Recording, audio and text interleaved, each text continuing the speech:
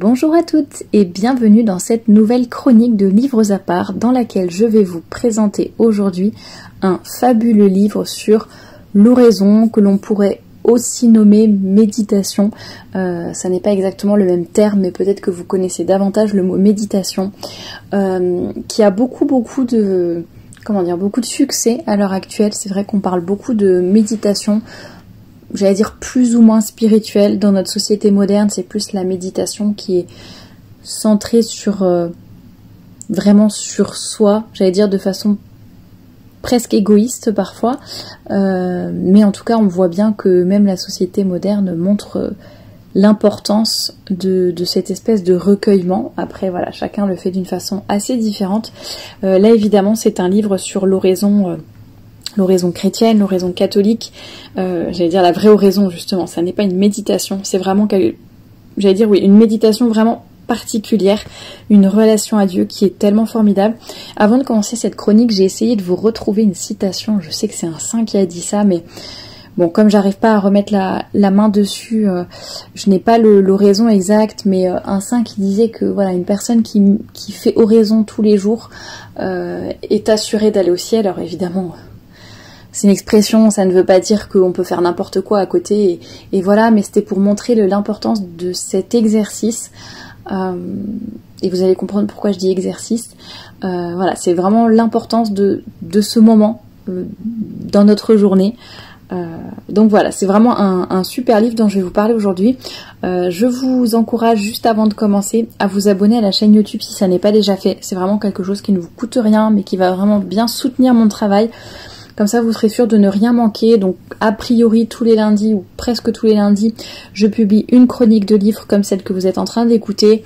Tous les vendredis à 10h, un podcast sur euh, voilà, plein de, plein de thèmes différents. Et une fois par mois, un entretien. J'invite, euh, j'invite des femmes euh, inspirantes pour leur parler de plein de sujets différents. donc voilà, n'hésitez pas à N'hésitez pas à vous abonner à la chaîne pour être sûr de ne rien manquer et également lorsque je fais des conférences, généralement une fois par mois, je mets l'audio de la conférence euh, en ligne sur cette, sur cette même chaîne. N'hésitez pas aussi à commenter, à aimer. Euh, voilà, c'est toujours des petites choses qui font plaisir et qui soutiennent mon travail.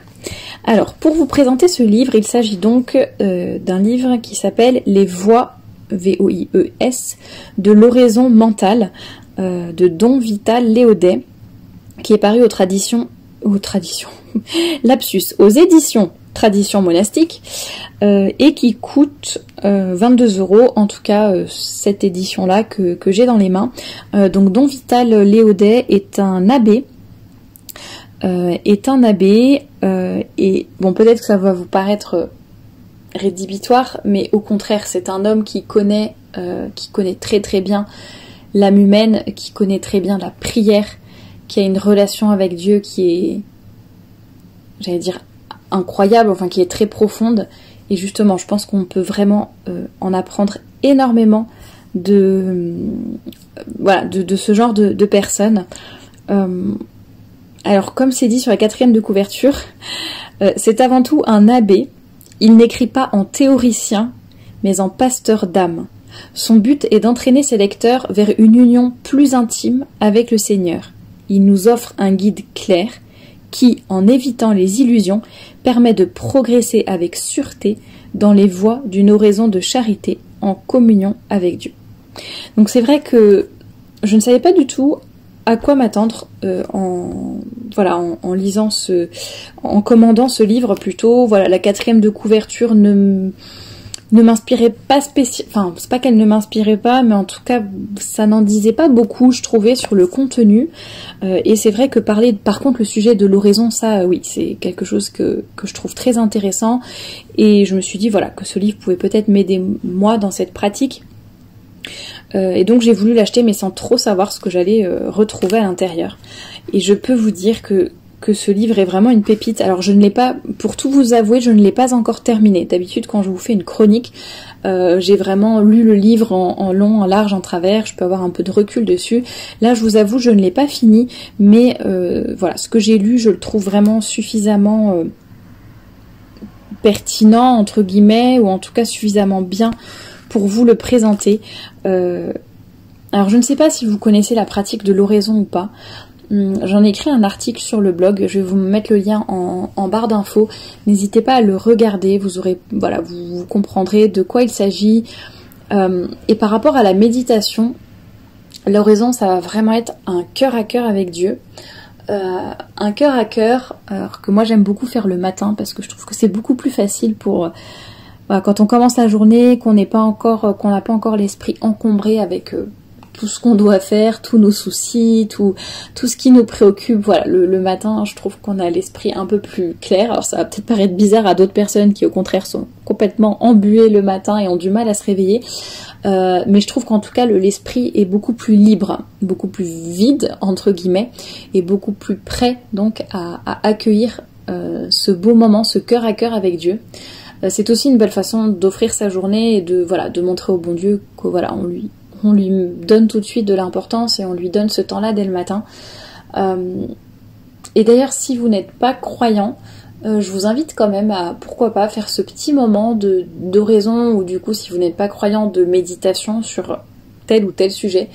Euh, c'est vraiment reconnu que ça aide à se poser, à poser les choses, à prendre du recul sur sa vie, à être plus. Alors moi, j'aime pas trop vraiment la méditation trop moderne dans le sens où voilà, une fois de plus, c'est comme le développement personnel poussé à l'extrême, c'est-à-dire il y a des bonnes choses, mais euh, mais voilà, poussé à l'extrême, c'est très c'est très quand même euh, égocentrique et très euh, moi moi moi moi moi et voilà. Donc ça c'est un peu la limite que, je trouve à, à la méditation entre guillemets moderne.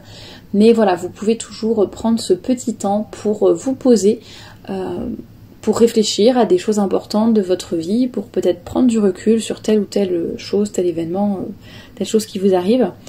Euh, et vraiment, voilà, je, en tout cas, et pour celles qui sont, celles et ceux qui sont croyants, euh, et qui ont la foi, vraiment, je vous recommande ce moment d'oraison, de cœur à cœur avec le bon Dieu. Alors pour revenir du coup sur, euh, pour revenir sur le livre, mais je, je, peux pas vraiment voir. Je sais que d'habitude je vous, je vous donne un peu la table des matières, euh, je vous dis vraiment le contenu, un petit peu, je vous donne un aperçu de ce qui se passe dans le livre. Là voilà, moi je voulais surtout vous parler de l'oraison, vous encourager à plonger dans ce sujet euh, celles qui ne font pas encore oraison, vraiment, je, vous recommande. Moi, j'ai appris à la faire, euh, entre autres, euh, en faisant des retraites de Saint-Ignace. Mais voilà, on peut aussi apprendre à les faire autrement. Et justement, ce livre donne toutes les clés. Alors, ce que j'aime beaucoup, alors je vais quand même aller dans la table des matières pour vous. Donc, il parle un peu d'abord de l'oraison de façon générale. voilà, le but de l'oraison, l'avantage et la nécessité de faire oraison, les éléments de succès, les causes d'insuccès, au contraire, euh, les consolations, les aridités. Donc ça c'est un peu, euh, enfin c'est pas un peu, c'est la première partie euh, qui parle de l'oraison de façon générale. Dans la deuxième partie, là on parle plus d'une, j'allais dire d'une méthode d'oraison. Donc là on rentre beaucoup plus concrètement. Donc pardon, avec différents chapitres dont Léodet nous explique comment on fait pour rentrer dans l'oraison, un peu, j'allais dire, l'introduction, comment s'y préparer, etc. Ensuite, on voit le corps de l'oraison, bah, les, différentes étapes que l'on peut suivre pour, euh, pour faire oraison, les différentes, j'allais dire, méthodes, concrètement, euh, à quoi je vais penser, qu'est-ce que, de quoi je vais parler au bon Dieu, etc. Euh, donc voilà. Et les demandes, les résolutions, voilà, ça c'est vraiment toute l'oraison, la conclusion. et dans une dernière partie, euh, voilà, il va, oui, ça va être plus par rapport euh, à beaucoup d'autres, euh, comment dire, de, ça va être d'ordre beaucoup plus général sur ce que l'on peut tirer de l'oraison, ce qui peut nous arriver entre guillemets pendant l'oraison. donc voilà. Et, alors ce que j'aime beaucoup, ce que j'aime particulièrement, c'est que quand Don Léodet propose cette méthode. Enfin, d'ailleurs, c'est pas une méthode, c'est à chaque fois il donne plusieurs exemples, plusieurs possibilités de, ce que l'on peut faire. Alors, vous pouvez par exemple faire ci, faire ça, vous mettre comme ci, comme ça, prendre ça pour euh, comme support, euh, pour vous mettre bien dans le dans le quand vous vous préparez quoi et vous être bien disposé à l'oraison, vous pouvez faire ci ou ça. Donc ça, je trouve que ça aide parce que vraiment, il donne plusieurs exemples différents. Et en plus, euh, à chaque fois, il, précise bien, mais attention, ça c'est un cadre, c'est une méthode. Après vous, dans ces indices que je vous donne, dans cette méthode, dans ce, déroulé, voilà, que, je vous montre ici, voilà, soit ça vous aide, ça vous guide, c'est un soutien pour vous, et dans ces cas-là, tant mieux, utilisez cette méthode et suivez-la. Par contre, non, si, si, vous, vous arrivez à faire autrement et, et, voilà, avoir ce cœur à cœur intime avec le bon Dieu en, en prenant un autre chemin, entre guillemets, euh, qui peut être plus rapide, plus court, voilà, allez-y. Euh, pareil, il dit, euh, parce que voilà, on, dit souvent l'oraison, enfin c'est pas on dit, mais c'est vrai que l'oraison en général commence par la mise en présence de Dieu. Voilà, on prend quelques quelques secondes ou quelques minutes, parce que ça dépend. Si vous faites une oraison d'une demi-heure, bon bah vous pouvez bien prendre cinq minutes pour vous mettre en, présence de Dieu. Euh, par contre, si vous faites une oraison de, de 5 minutes, vous n'allez pas prendre 5 minutes de, mise en présence. Donc voilà, selon le temps que vous faites, euh, et puis selon vous aussi, la façon dont vous vous sentez. Euh, mais en tout cas, il dit, voilà, si rien que le fait de, vous mettre en présence de Dieu, de réaliser que vous êtes devant Dieu, merci mon Dieu, vous êtes là avec moi, je fais oraison, voilà, je suis proche de vous, vous êtes là tout près de moi, et et que l'on sent qu'en fait on peut méditer entre guillemets et penser à ce sujet pendant toute la durée de notre oraison, bah voilà, pourquoi pas C'est un peu aussi euh, voir où notre âme nous porte. Alors ça ne veut pas dire qu'il faut suivre notre imagination, les distractions, euh, ne plus penser à l'oraison, mais voilà, être trop trop ailleurs. Mais tout simplement, voilà, il faut aussi apprendre à, à un peu euh, ne pas forcément vouloir suivre une méthode à tout prix, mais aussi voilà, selon ce que l'on veux dire selon ce que l'on ressent. Mais bon, les, sentiments ne sont pas toujours euh, euh, des, de bons guides, euh, mais c'est vrai que tant mieux. Si on a des consolations tout à fait palpables et sensibles, tant mieux pour nous. Mais en tout cas, bon, ce qui compte, c'est vraiment la foi. Et même si on ne ressent rien, ça ne veut pas dire que, que le bon Dieu n'est pas là ou qu'on n'est pas proche de lui. Mais en tout cas, ce que je voulais dire, c'est que, voilà, il dit, il faut aussi le faire un peu voilà, en fonction de ce qui, ce qui nous arrive, de ce qu'on arrive à faire, etc. Donc vraiment, je trouve ça, c'est vraiment exactement ça, ce qui est dit sur la quatrième de couverture. Voilà, c'est pas un théoricien, mais c'est un pasteur d'âme qui va nous guider, euh, nous guider, donc à la fois nous donner des des, des idées, des, un cadre, etc. Et en même temps, voilà, c'est on est un peu libre dans la méthode, quoi. Après, à nous d'adapter plutôt à notre vie.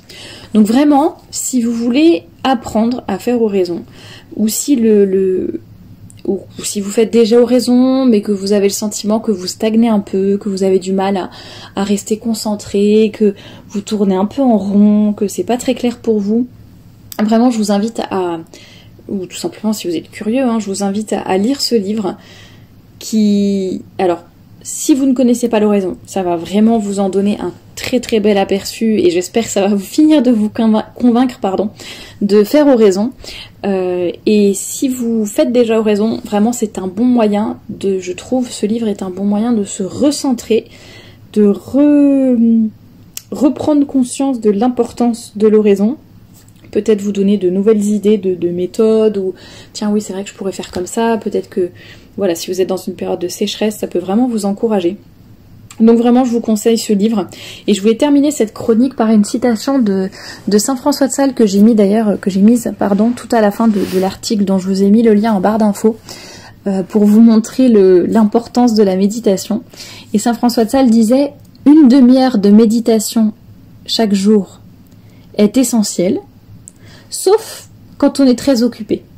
Alors dans ce cas-là, une heure est nécessaire. Voilà, ça c'était pour montrer euh, voilà cette idée de on se recentre et, et voilà, l'oraison permet vraiment, c'est vraiment le, point culminant de notre journée finalement. Et si on a trop de soucis, trop d'occupations, etc., bah, c'est d'autant plus une bonne raison pour continuer, s'accrocher et continuer de, faire oraison. Euh, donc voilà, j'espère en tout cas que, que j'ai un peu piqué votre curiosité entre guillemets sur ce sujet de, de l'oraison. Euh, et je souhaite en tout cas que vous découvriez cette, cette belle pratique, ce beau cœur à cœur avec Dieu. Si vous voulez en savoir un peu plus concrètement, vraiment je vous invite à lire l'article de présentation que, que j'en avais fait sur le blog maintenant il y a, quelques années je pense, voyez, 2010, avril 2018. donc il y a presque trois ans, mais il est vraiment toujours, toujours d'actualité. donc voilà, vraiment je vous encourage à aller le lire. N'hésitez pas, euh, si vous avez d'autres livres à me suggérer pour les présenter en chronique, euh, vraiment n'hésitez pas à me le dire en commentaire. Je découvre, j'ai découvert beaucoup d'ouvrages comme ça euh, grâce à des commentaires ou à des personnes qui m'écrivaient ou sur les réseaux ou par mail. Donc vraiment n'hésitez pas. Et je rajoute une dernière chose, je crois que je ne voulais pas présenter en chronique de livre cet ouvrage, mais un autre ouvrage de Don Vital Léodet que j'ai beaucoup beaucoup aimé, c'est le Saint Abandon euh, qui est vraiment génial aussi, écrit avec beaucoup de simplicité, très accessible. Je crois que j'en ai fait un article aussi. Euh, si c'est le cas, je, vous le mets également euh, en barre d'infos. Voilà, je m'arrête ici pour, pour cette chronique de livres et je vous dis à la semaine prochaine.